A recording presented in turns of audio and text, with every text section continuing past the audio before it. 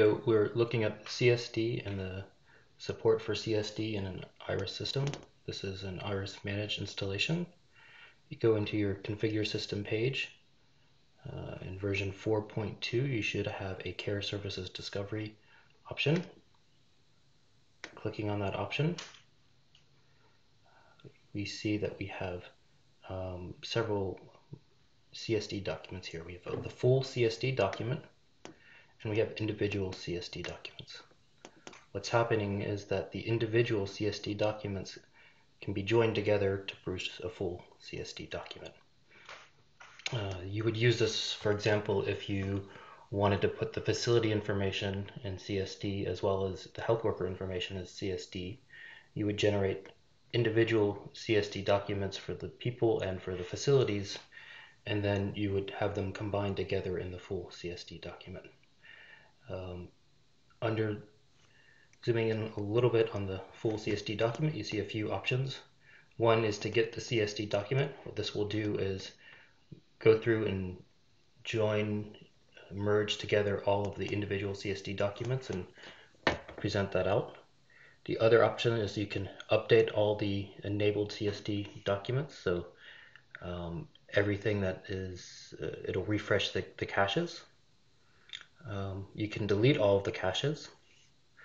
And finally, what you see here is the um, endpoint that's needed for um, compliance with the CSD standard. If you're pulling um, an iHRIS system, this will be the directory that you would want to use in your URL.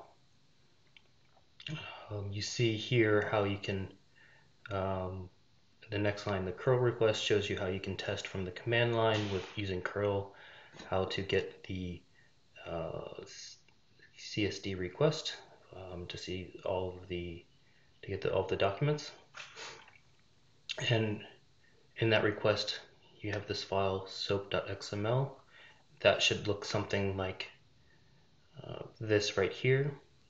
The only thing that you would want to do is change the URL to here to the match what was given above, although that's not strictly necessary.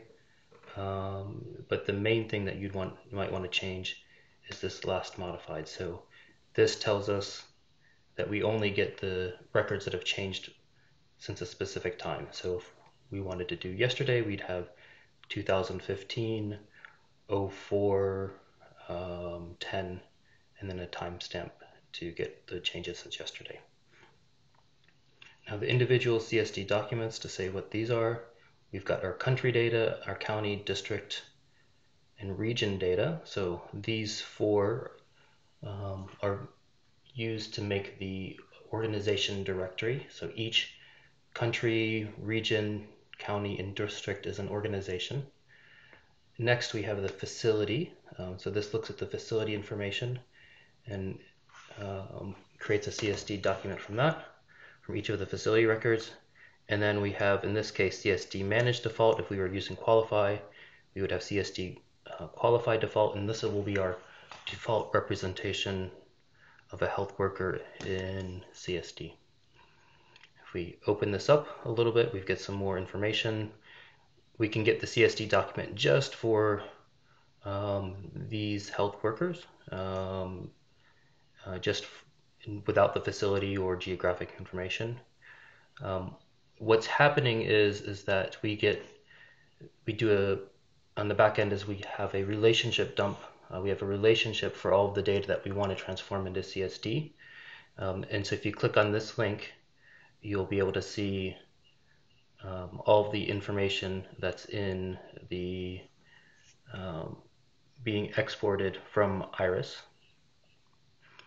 Um, if the next is the XSL transform, if you click on oh, here we see a bit of what that information looks like for um, uh, the the XML relationship dump. Sorry. Um, going back, we have our transform. If you click on that, you'll get the XSL transform that takes that relationship dump and turns it into CSD. We can update the CSD cache. This will look through all of the uh, um, person form, so whatever the primary form is in the relationship, and see if that last modification time for that record has changed since the last time that uh, the cache was run. And if so, it will update that record. If we disable the CSD cache, then this will no longer be a part of our full CSD document. So if we know that we're working in a place where the country, the county, district, facility, and region information is coming from um, a facility registry or some other system such as DHIS or resource map, we can disable those and only include the health worker information. Uh, and finally, we can clear that cache, uh, the individual cache, uh, if we need to start over. Um, you want to do this, for example, if you are developing and need to change the transform or change the relationship and you want to redo the CSD cache. Once all of that is done, you get the CSD document and you can upload it into the OpenInfoman.